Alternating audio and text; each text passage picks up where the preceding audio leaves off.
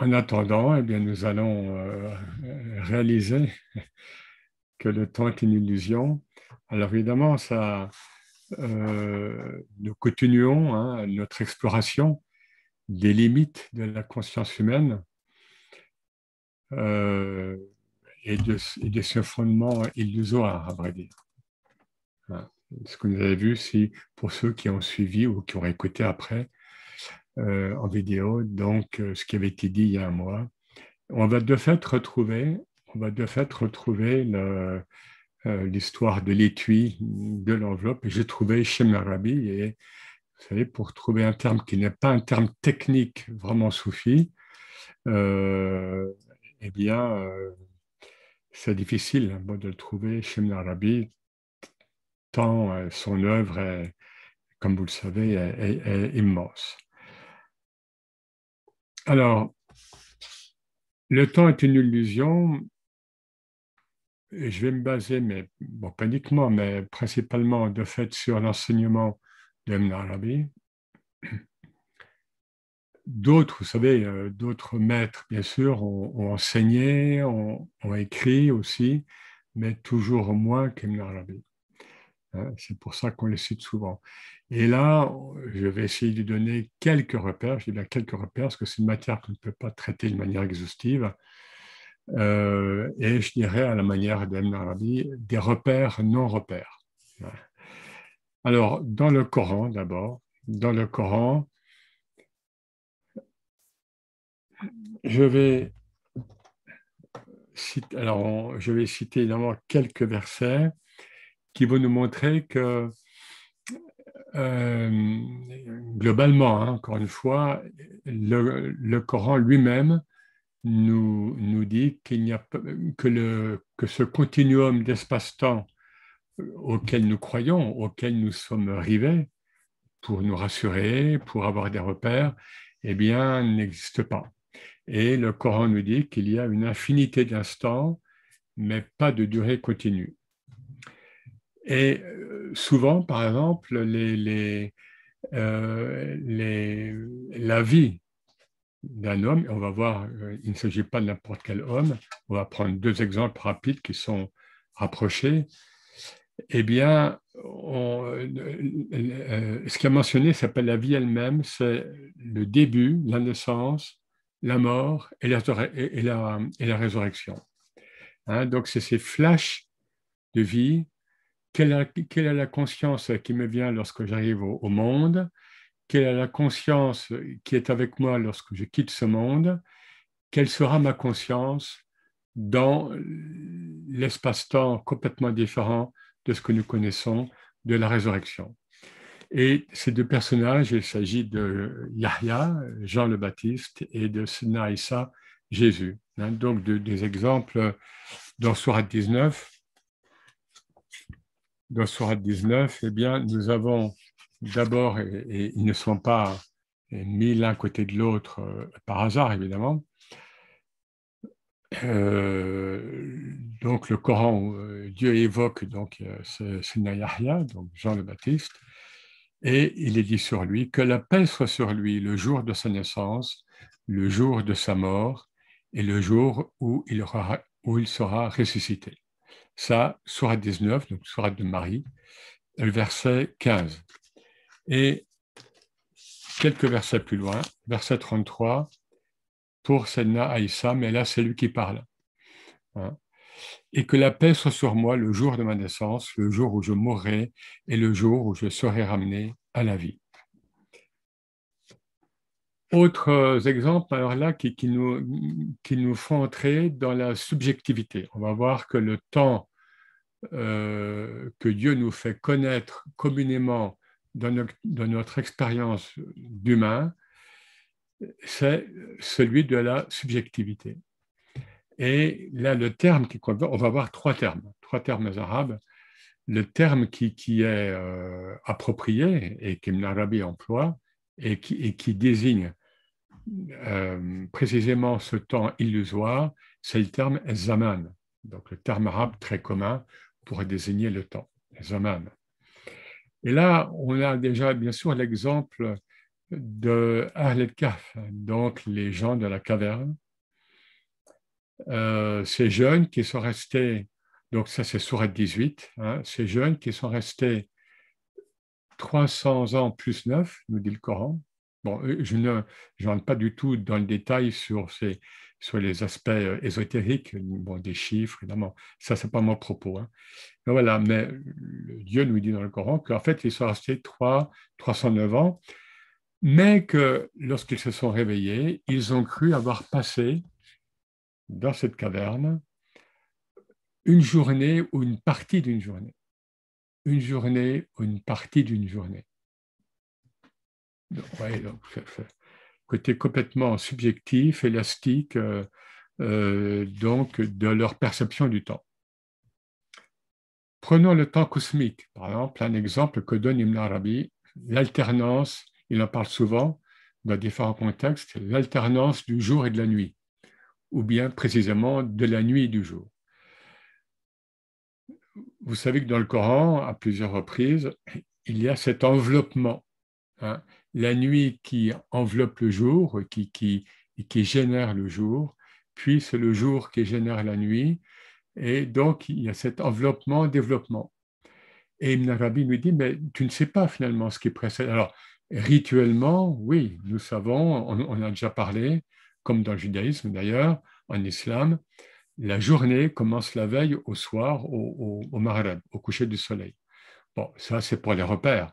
Mais cette alternance perpétuelle et, dont, et sur, laquelle, sur laquelle, encore une fois, le Coran revient souvent, nous laisse finalement euh, sans repère, puisque qui, qui précède qui? Est-ce que c'est finalement la nuit qui précède le jour? Est-ce que c'est le, jour qui précède la nuit?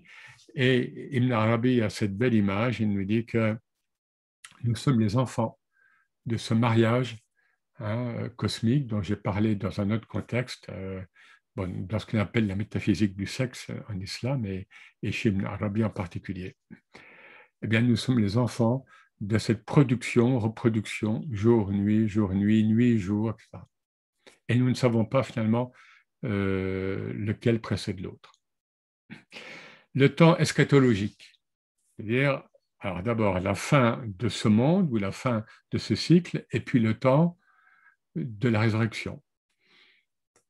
Alors là, on a vraiment, on, a les deux aspects, c'est-à-dire que ce, zaman, ce temps, est complètement fluctuant dans les sources, Coran, Hadith, complètement fluctuant il est parfois compressé et parfois dilaté. Alors, en fin de cycle, le prophète nous, nous dit clairement qu'il y aura, qu'il y a, parce qu'en tous les cas, nous sommes à la fin d'un grand cycle, et on, peut le voir par rapport à notre vécu du temps, il y aura, il, disait ça donc à son époque, un cop de Zaman. Cop, Zaman, justement, il emploie le terme Zaman il y aura une contraction du temps. Alors, je vous donne un exemple. Ma mère me disait qu'elle a vécu donc au XXe siècle, et puis 1929-2016, euh, voilà, en gros. Et elle me disait, mais j'ai vécu trois siècles. Tellement elle a vécu l'accélération, non pas du temps, mais de notre vécu du temps, de notre perception du temps. Et on peut le voir. On, le voit euh, dans tous les domaines médiatique, informatique, mondialisation, tout va très vite, tout s'emballe, le réchauffement climatique, etc., Tout est accéléré. Donc là, c'est la contraction, c'est la compression. Par contre, alors, ou alors un peu plus loin, dans, dans cette fin de cycle, euh, il y a un échange entre euh, d'Aïcha et le prophète sur le temps du Dajjal à l'époque de l'Antéchrist, donc vraiment à la fin du cycle, euh, ou à la fin du monde, mais bon, quel cycle, quel monde, euh, en tous les cas, pour nous, nous savons que nous sommes à la fin d'un grand cycle. Et donc, Aïcha lui pose la question, comment, comment les humains et comment les musulmans vont vivre cette période? Et le prophète répond, eh bien, un jour sera comme un an, puis, enfin, il ne dit pas puis, Hein, Ibn Arabi ne dit pas. Euh, donc, c'est comme si ça peut être à la fois des flashs. Un jour va correspondre à un an, et où, puis un jour va correspondre à un mois, puis où un jour va correspondre à une semaine, et après ce sera un petit peu normalisé. Et Saïd Aïcha demande, mais alors comment vont-ils prier? Comment vont-ils prier? Et le prophète répond, ils vont évaluer. Euh, euh, par exemple, la prière du là, ils vont, ils devront évaluer. Et avant cela, lorsqu'il y a, quand je parlais de Cap de Zaman, donc cette contraction du temps, il y a eu des, donc des recherches des ulama et, des fatwas sur la question de savoir quand le temps va se contracter ou notre vécu du temps, est-ce que nous pourrons encore euh, effectuer les cinq prières comme les fonctueux encore maintenant? Et encore maintenant, on sent déjà dans, notre travail, dans, notre, dans les grandes villes surtout, on sent déjà cette accélération. Et euh, donc, il y a eu des fatwas à l'époque médiévale sur comment les musulmans feront. Eh bien, ils rassembleront les prières, ils les écourteront, etc. etc. Donc, des ulama des époques anciennes ont déjà visualisé, si vous voulez, euh, cette contraction du temps. Et sur l'époque du Dajjal, donc là, c'est vraiment la fin du cycle, justement, le prophète répond qu'ils devront, rapport à la prière, par exemple, hein, qui, est un rite essentiel en islam, ils devront apprécier, réévaluer, parce n'y aura plus, bon, parce que le ciel sera obscurci, il n'y aura plus de repères, nuit, jour, jour nuit. Donc, sans cesse, ils devront réévaluer le temps. Le temps, alors maintenant, on passe, on crève l'écran, si je puis dire, le temps de la résurrection. Eh bien, c'est pareil. C'est un temps complètement subjectif. Et par exemple, hein, en, 10, en 10, 45, sur 10, verset 45, il est dit, le jour où il les rassemblera, le jour où Dieu les rassemblera, les humains, il leur semblera n'avoir passé qu'une partie de la journée en ce bas monde. Et ils se reconnaîtront entre eux, parce que ça aurait été tellement court.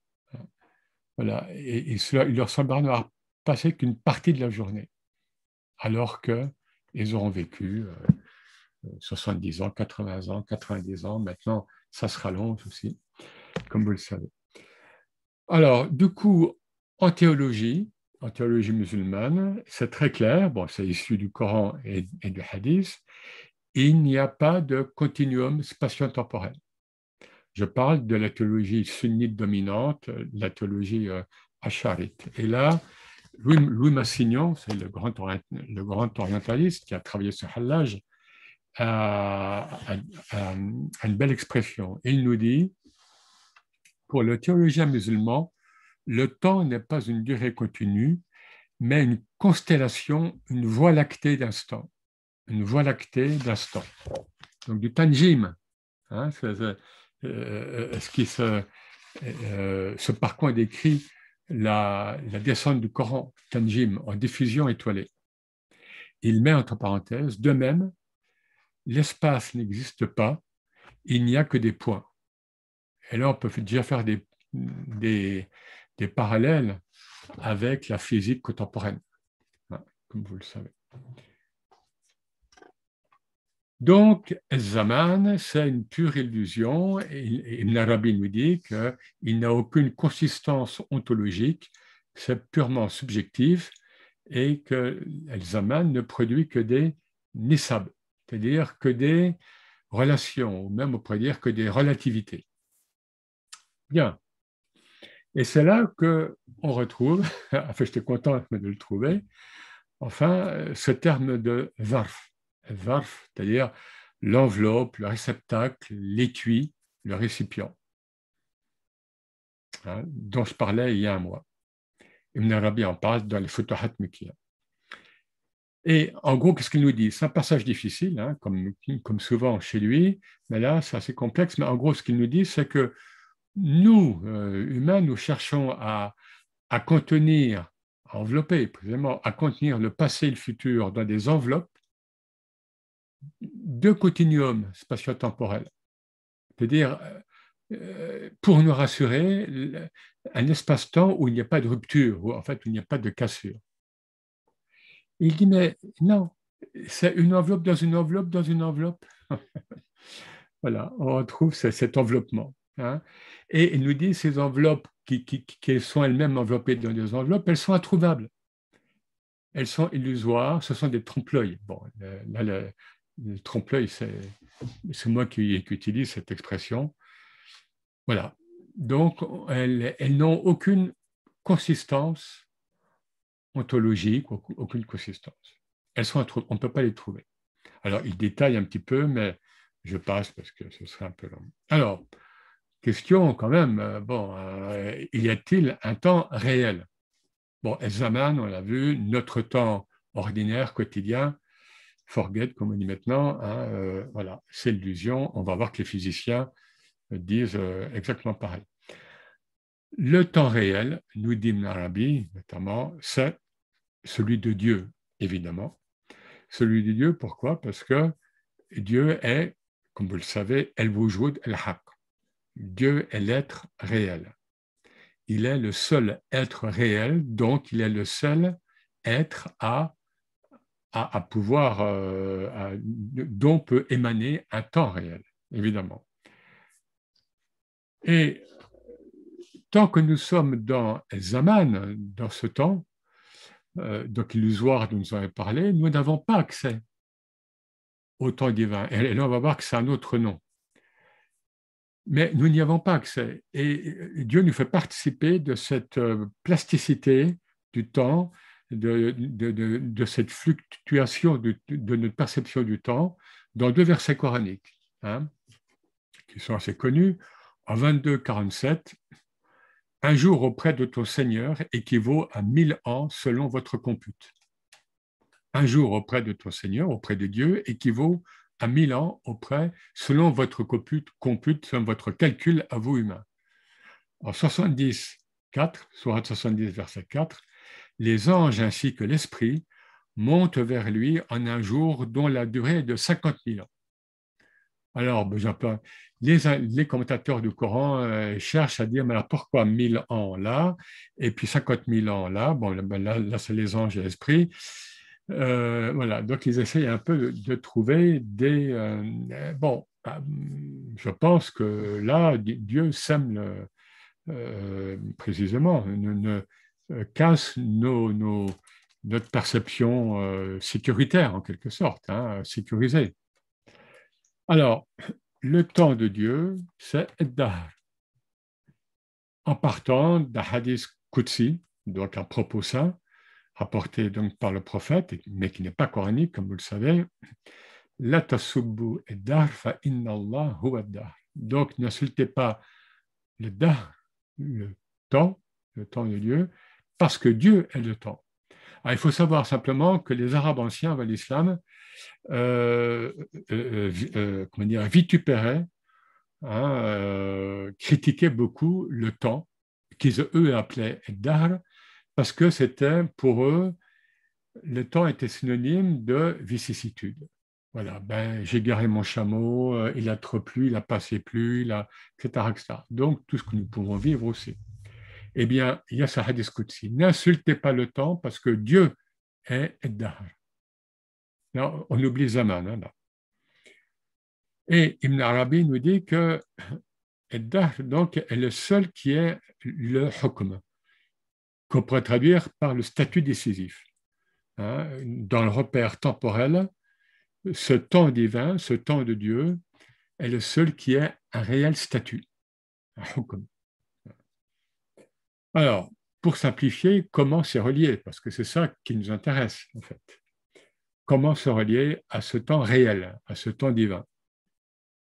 Eh bien, troisième terme qui entre en, lice, en réalisant l'instant, el-waqt. Et là, c'est un terme technique soufi, el-waqt. On trouve ça bien avant Ibn Arabi, notamment dans la Risala el-Kosheriya, dans le Kosheri, 11e siècle, mais on le trouve aussi euh, avant encore. C'est quoi le waqt Donc l'instant. Alors je donne une définition d'Ibn Arabi, en gros, mais on, la retrouve à peu près pareil euh, chez el-Kosheri. Hein. El-waqt, l'instant, c'est ton état spirituel personnel au moment où tu le vis, sans qu'il soit rattaché à ce qui est passé ou à venir. El waqt. Hein, comme un, flash de seconde, comme un clin d'œil. Ça, c'est le waqt. Et c'est ça qu'il faut saisir. Et c'est pour ça que le, le soufi est appelé depuis longtemps Ibn al-Waqt, le fils de l'instant. La référence coranique, évidemment, c'est ce passage très court, hein, évidemment comme un flash, euh, dans la sourate Ar-Rahman, donc 55-29, Kullayum huwa fi Alors, euh, notamment, on pourrait dire chaque jour il est à l'heure, mais à l'œuvre, il est à l'œuvre, hein, mais euh, pour tout le monde, hein, euh, quasiment, El Yom, là, ce n'est pas le jour de 24 heures, ce n'est pas la journée, c'est l'instant. À chaque instant, Dieu est à l'œuvre.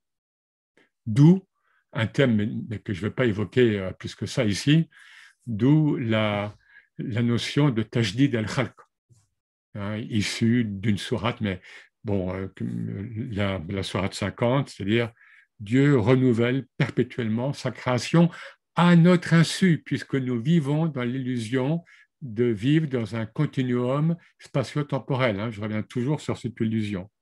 Non, à chaque instant, il est à l'œuvre, nous dit le Coran. Et c'est ce qui correspond aussi au El-Hal, l'instant spirituel, El-Hal, hein, qui est est, il est décrit dans la tradition soufie comme étant fugace, en général. Après, il peut s'étendre, il peut, il peut rester, mais en général, il est fugace. Et donc, tout le propos du soufi, en quelque sorte, crois qu'on a déjà parlé, c'est de ne pas laisser passer l'instant divin lorsqu'il est là, de ne pas le louper, hein, pour parler un peu vulgairement, parce que c'est la seule manière de se relier, de se relier à l'éternité divine, à ce qui est hors du temps. C'est-à-dire, j'entre euh, dans ce flash, dans, cet instant qui peut être très court, et euh, comme et donc comme euh, donc je traverse le temps et l'espace et mets ouverte l'immensité de l'éternité, hors du temps, hors de l'espace. Et là, Corbin, Henri Corbin, hein, bon, a une phrase très juste, mais bon, mais terrible, terrible. Hein, il nous dit, la seule chose qu'un soufi puisse craindre, c'est qu'un retard sur soi-même, un arrêt qui lui ferait manquer le sens intérieur de son être, fasse de lui un avorton de l'au-delà. Je répète la phrase parce qu'elle est essentielle dans l'expérience soufie. La seule chose qu'un soufi puisse craindre, c'est qu'un retard sur soi-même, un arrêt qui lui ferait manquer le sens intérieur de son être, ou ben, je dirais, ou bien de son instant, fasse, de lui un avorton de l'au-delà. Et le prophète nous dit que euh, l'humain sera ressuscité, dans l'état psycho-spirituel dans lequel il est mort. Et là, c'est tout le propos du soufisme. Je crois qu'on a déjà évoqué cela. Alors du coup, qu'est-ce qui se passe? Qu'est-ce que je réalise? Qu'est-ce que je peux réaliser? Eh bien, tout simplement, tout est là. Tout est là dans mon être. Toi, toi, toi qui, qui, moi, etc. tout est là en nous, dans l'instant. Toute ma vie, toute ma vie est là, à la naissance et peut-être embryon, et sûrement même, à, tel âge, à 5 ans, etc., à tel âge, à tel âge, sur mon lit de mort, etc., et les étapes post Tout est là, là, dans l'instant, ni avant ni après. Sinon, je loupe le train. Et évidemment, là, on rejoint la physique contemporaine. Il y a un physicien notamment, qui est, euh, donc euh, un scientifique, hein, je vous rassure, Marc Lachiez-Ray, hein, notamment, dans un ouvrage qui s'appelle Voyager dans le temps, voilà ce qu'il nous dit. Il parle de lui, mais ça peut être moi, vous, etc. Je suis tout autant, je suis tout autant celui, ah, tout autant, celui qui écrit ce livre, dans cet instant, que celui qui, il y a quelques mois, a pris la décision de l'entreprendre, que celui qui est l'auteur de cet autre livre il y a quelques années, qui a écouté ce concert avant-hier, qui a accompli cette ascension l'année dernière. Mon identité ne se réduit pas au bilan de ce que je fais, de ce que je pense en cet instant. Elle englobe tout mon passé, mon présent et mon futur. C'est exactement l'expérience soufie. Hein. Et il dit un peu plus là une phrase aussi, je suis un être, il met, il met ça entre guillemets, je suis un être déroulé dans le temps. Illusion. Le déroulement est une illusion. Hein. Je suis un être qui se déroule dans le zaman. Mais en fait, tout est là, dans l'instant. Et là, bien sûr, et lui-même le dit, nous sommes pleinement dans le sillage de la enfin, le soufi est avant, mais qui est avant, qui est après hein, Nous sommes dans la relativité générale d'Einstein, hein, où l'espace-temps est courbe. Et précisément, Ibn Arabi nous dit, et je le cite textuellement, que le temps et l'espace peuvent être pénétrés, franchis, pliés et repliés. Le temps et l'espace peuvent être pénétrés, franchis, pliés et repliés. Il y a un miracle très très euh, célèbre, très connu euh, dans, euh, dans l'islam classique médiéval, enfin ancien, c'est ce qu'on appelle Taï el-Ard, ou bien Taï el-Masafa le pli de la terre. Certains saints, connus, hein, et, on les voyait, priaient, par exemple, le Zor, Zor au Caire, et puis au Asr, on les voyait prier à Jérusalem, Maghreb à la Mecque, et certains les voyaient. C'est un miracle, il y a beaucoup de témoignages sur ce genre de miracle, le pli de la terre, l'espace-temps. Et, là, je vais finir bientôt, les, précisément Hein, ce que Ibn Arabi nous dit, plier et replier, eh bien, ça évoque tout à fait ce que certains connaissent, je pense, ce qu'on appelle maintenant en physique les trous de verre. Hein, les trous de verre.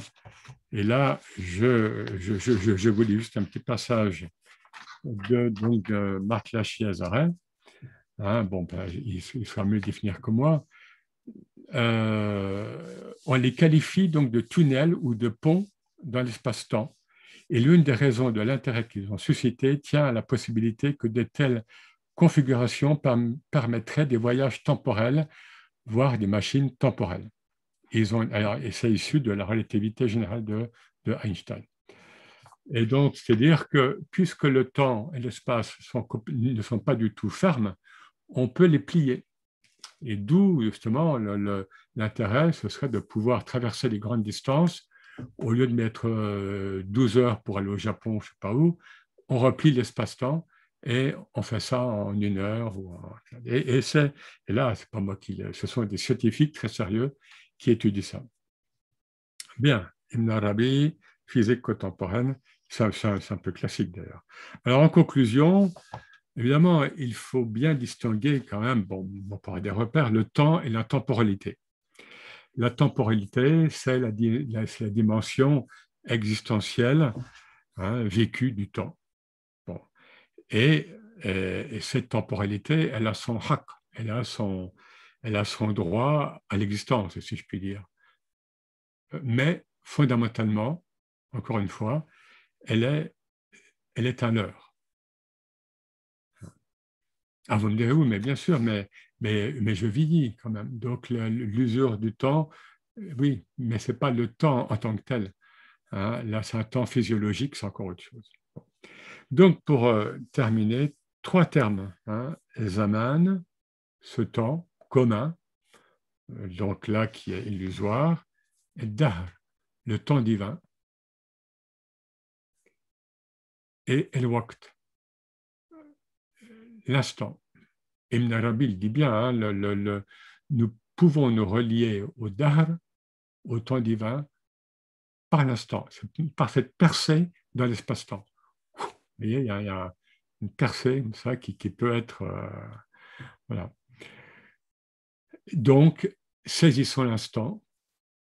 Euh, et comme nous dit le Coran, Dieu envoie des signes en permanence et Ibn Arabi nous dit que Dieu ne se répète jamais. Il ne s'est jamais répété depuis le Big Bang. Dieu ne s'est jamais répété dans sa création depuis le Big Bang. Est-ce que nous pouvons réaliser ce que ça, ce que ça veut dire? Non. Voilà, donc saisissons l'instant, c'est tout, ce qui, euh, c'est tout ce qui nous préoccupe, mais c'est un djihad euh, énorme. Hein. le passé, le futur, les projections, les regrets. Voilà, merci à vous, et puis essayons de, euh, essayons de faire en sorte que ça nous aide aussi pour vivre l'époque actuelle. Voilà ça peut être un réconfort, comme ça peut être une difficulté supplémentaire, ce que je vous ai dit, mais en tous les cas, là, je parle de, de maîtres réalisés et la physique contemporaine aussi, et cette congruence et, et euh, ce rapprochement entre, entre la métaphysique ancienne, soufie et taoïste et autres, et la physique contemporaine est un signe majeur actuellement. C'est un signe majeur. Merci à vous. Et je laisse euh, la, la place à Nora. Merci.